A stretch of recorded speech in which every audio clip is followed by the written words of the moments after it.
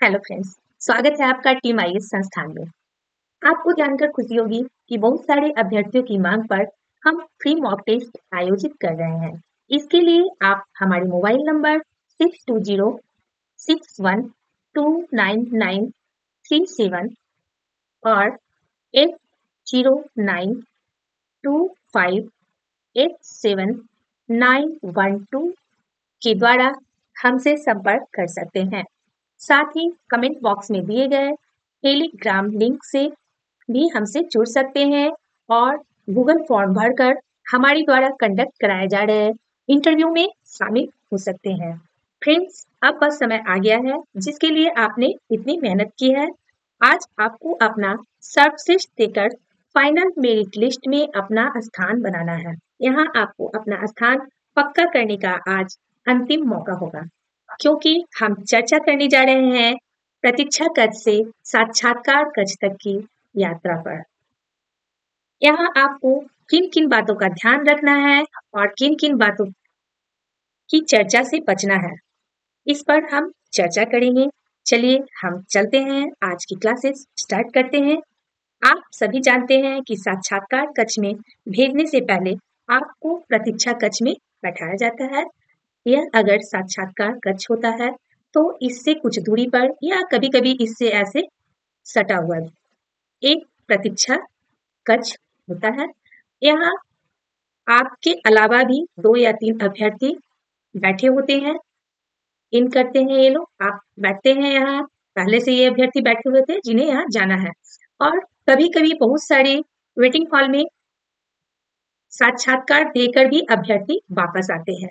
किसी किसी बोर्ड में बाहर जाने का अलग रास्ता होता है और जो भी अभ्यर्थी साक्षात्कार दे रहे हैं, अलग रास्ते से निकल जाते हैं। लेकिन सामान्यतः इस हॉल में दो या तीन अभ्यर्थी होते ही हैं।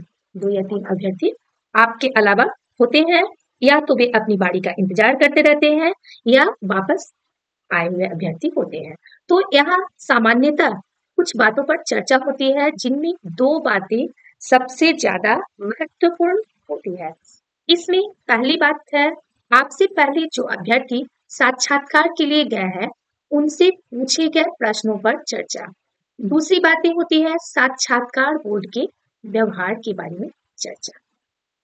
यहाँ आपको इन चर्चाओं से बचना है। पहले प्रश्न की अगर बात करें, इस स्लाइड का पहला जो पॉइंट है, इसकी बात करें तो इन चर्चाओं से बचना है। क्योंकि इनसे जो भी प्रश्न पूछा गया है यह ज़रूरी नहीं है कि यह प्रश्न इस व्यक्ति के लिए अगर हार्ड है तो यह हमारे लिए भी कठिन होगा। हो सकता है कि उसकी जो तैयारी है, वह आपकी तैयारी इतनी अच्छी नहीं है और आपकी जो तैयारी है, वह इस व्यक्ति से ज़्यादा अच्छी है। इसलिए किसी भी व्यक्ति से कोई भी प्रश्न जो पूछा गया है, उस पर चर्चा करने से हमेशा आपको बचना है और हम किसी व्यक्ति से 20 या 30 सेकंड। ज़्यादा से ज़्यादा एक या दो मिनट बात कर कर हम यह पता नहीं लगा सकते हैं कि उसे कितनी जानकारी है। उसके बारे में धारणा बनाकर हम उसकी बातों को जज भी नहीं कर सकते हैं। इसलिए हमें यहाँ तटस्थ रहना है, शांत रहना है और इन सभी चीज़ों पर बिल्कुल भी चर्चा नहीं करना है। दूसरी बात है साक्षात्कार बोर्ड के व्यवहार के बारे में चर्चा। यह चर्चा तो बिल्कुल नहीं करना है। प्रश्न के बारे में मान लीजिए कि हम नहीं भी चाहेंगे तो कुछ लोग आपस में बात करते रहते हैं, लेकिन इस चर्चा से एकदम बचना है। ऐसा मैं इसलिए कह रही हूँ क्योंकि हो सकता है कि यह व्यक्ति जो साक्षात्कार देकर वापस आया है, इसके प्रति साक्षात्कार बोर्ड का व्यवहार उतना अच्छा ना हो और हम अपने मन में निगेटिव धारणा अपने बोर्ड के बारे में बना लेंगे। बोर्ड बदल तो हम नहीं सकते हैं। हमें तो इसी बोर्ड में जाना है। हर हाल में जो हमें बोर्ड मिला है, इसी बोर्ड में हमें जाना है। तो इस बोर्ड को हम बदल नहीं सकते हैं।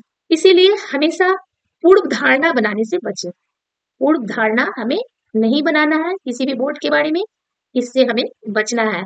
और इससे बचने का एक ही तरीका है, इनका क्या व्यवहार था इसकी चर्चा हम लोगों को नहीं करनी है।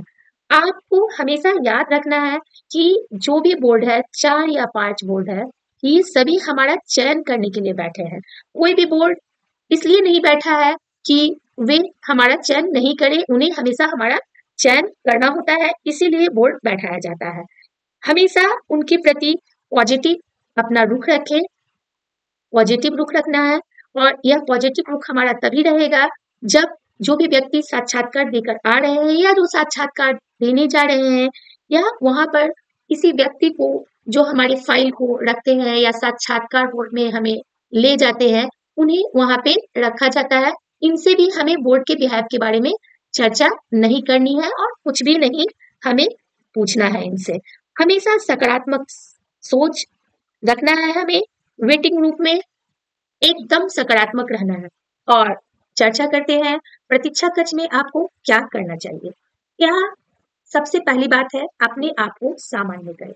हो सके तो आप प्रतीक्षा कक्ष में जाने से पहले वॉशरूम से हुआ आपकी जो ड्रेस है, आपके जो जूते या चप्पल हैं, इस पर डालें और अपने आप को व्यवस्थित करें।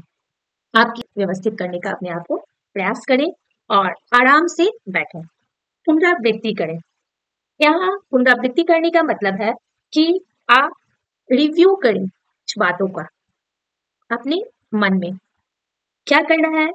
आपने आज तक जो भी प्रिपरेशन किया है, तैयारी किया है साक्षात्कार के लिए, उसके बारे में सोचें, ठीक है?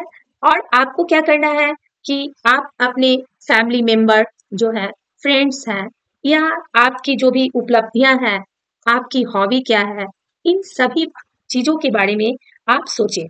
और हमेशा यहाँ सकारात्मक बातों को सोचना है। हमेशा सकारात्मक चीज़ों को सोचें बी पॉजिटिव इस मंत्र को याद रखना है आपको। इसीलिए पुनरावृत्ति करते समय हमेशा ऐसी बात को सोचना है जो आपको खुशी दे, जिससे आपको आत्मबल मिले। किसी प्रकार की चर्चा और बहस से बचे। पहले भी हमने बताया है लेकिन काफ़ी शॉर्ट में इस बातों को बताया है। क्यों किसी प्रकार की चर्चा और बहस से बचना है और यह हम पर कितना प्रभाव डाल सकता है, इसके बारे में हम यहाँ चर्चा करेंगे। अगर आप अंतिम समय में लास्ट मोमेंट है अब आपका, आ गया है और किसी भी प्रकार की चर्चा और बहस में पढ़ते हैं और कोई नई जानकारी प्राप्त करने का प्रयास करते हैं। मान लीजिए किसी नए कोई प्रश्न है और इस पर दो लोग आपस में चर्चा कर रहे हैं और हम भी इसमें शामिल हो जा रहे हैं। तो क्या होगा इससे?